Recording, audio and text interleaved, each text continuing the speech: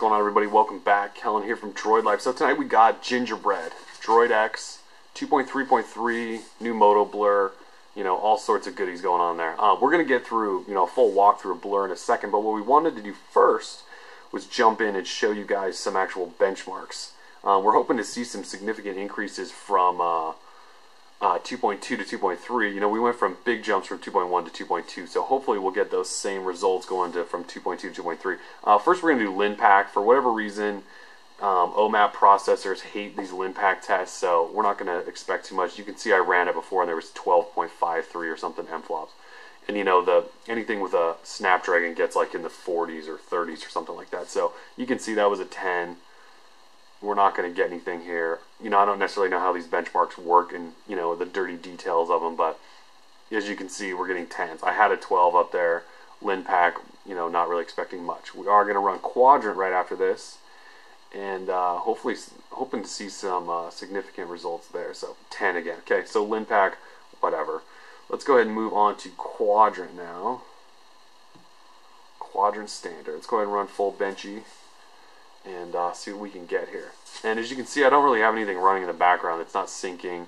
Um, there are some notifications up there, but those are I'm pretty sure about battery and um, DLNA stuff, so not really worried about that. Let's see what we can do though. Um, and so you know, I have my Droid 2 up and uh, also cooking around on uh, Gingerbread. See, there's the new uh, new notification bar and all that stuff. So we're gonna walk through, you know, both of these. You know, and if I was a really good blogger, I would have had Quadrant on here and we could have like dueled out and see which one scored higher. But I'm just not that good right now, so go ahead and push that aside. We'll get back to that later. So let's see what we can get here. Almost finished with the benchmark.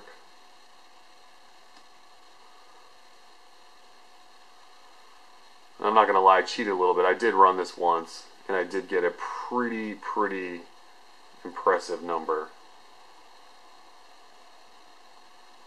Alright, let's see what we get.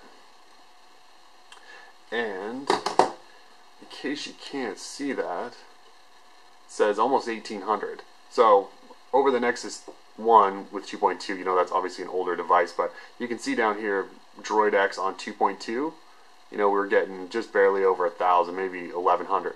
On 2.3, same exact phone, we are getting 1796. And I ran it before and I got 1825. So that number is pretty ridiculous.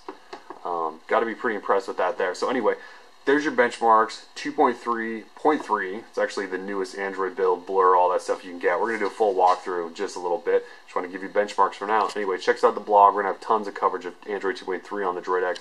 And we're out. DroidLife.com. Peace.